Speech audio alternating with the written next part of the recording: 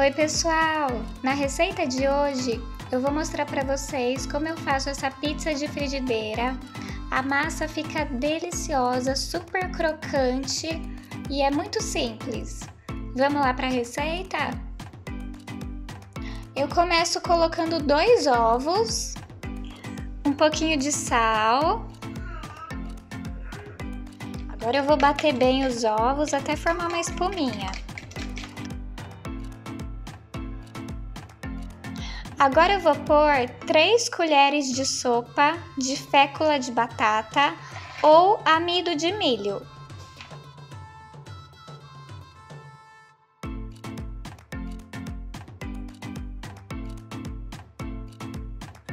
E duas colheres de sopa de farinha de arroz. Agora eu vou misturar.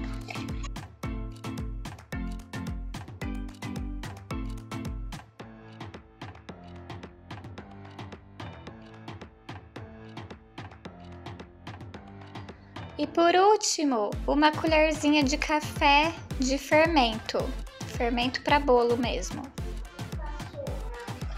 Olha, a massinha fica nessa textura, parecendo uma massa de bolo. Agora eu coloquei a minha frigideira no fogo baixo, untei com um pouquinho de azeite e eu vou colocar a massinha aqui.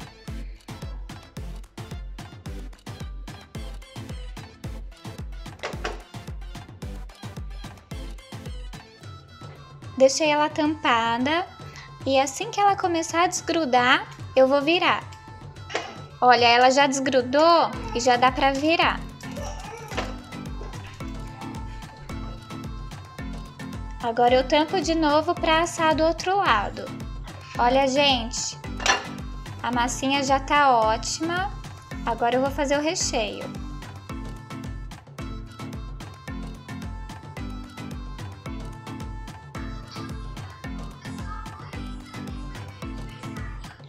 Olha, gente, o recheio é da sua preferência. Eu coloquei queijo, um pouquinho de brócolis e uns pedacinhos de linguiça em cima de um molho de tomate. Agora eu vou levar para a frigideira de novo até derreter o queijo.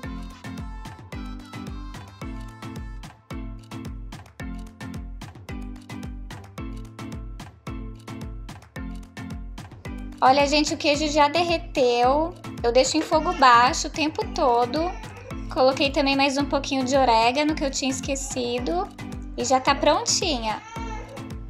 Olha, gente, a massinha fica super crocante, uma delícia essa pizza e super fácil. E rende duas mini pizzas em uma frigideira de 20 centímetros de diâmetro, que foi a que eu usei. E se você gostou da receita, deixe o seu like, se inscreva no canal e até o próximo vídeo. Tchau, tchau!